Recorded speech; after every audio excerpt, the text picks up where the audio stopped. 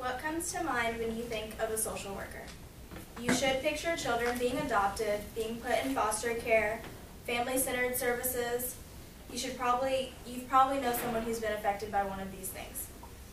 Today I'm going to be talking about working as a children's service worker. This is clearly something that is important to me as I hope to base my future career off of this. First, we will look at why I would like to become a children's service worker. Then we will look at some things you might not specifically know about children's service working. And finally, we'll discuss how you become one. First, let's look at why I would enjoy being a children's service worker. According to Missouri Home, the Department of Social Services mission is to maintain and improve the quality of life for Missouri citizens. It takes a big heart and you want to have to help others, which I think I would be great at and you have to enjoy helping others because it would be what your entire career is based on. Um, in a recent interview with Jolene Coleman, who I work with part-time, being a social worker is a wonderful field and I would not change anything about what I do. I have helped all types of people in my career and the hardest part is working with children by far. I would love to work with children. I babysit all the time. I love helping people. I volunteer and I'm actually doing service learning for one of my classes um, at a school here in Springfield. So now let's look over things that you might not know. Children's, there's a children's division which is responsible for foster care, adopting, children abuse and neglect, and then family-centered services.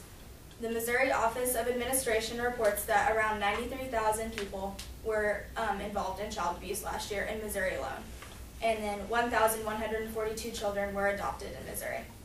The average salary for a social worker is around $43,000, and then there's three main types of social work.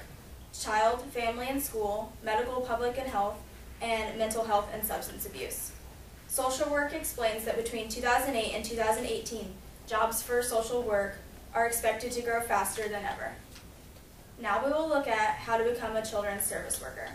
In college, social workers learn different ways to help people. They take social studies, psychology, sociology, economics, and ethics. They join peer groups and mentoring groups. Before they get the job, um, social workers need a license, certification or registration. Rules and regulations depend on the state and where you live at. And you can also get a certification from National Association of Social Workers, so you must complete a four-year university and then get certified. Um, in conclusion, there are many different ways which social workers affect the world we live in today. I know most of you probably know someone who's been adopted. Um, my, one of my best friends is adopted, and so is my mom. I shared with you today why I would like to become a social worker, some things you might not know, and um, how to become one. So next time you talk to someone who's been adopted, you can think of me.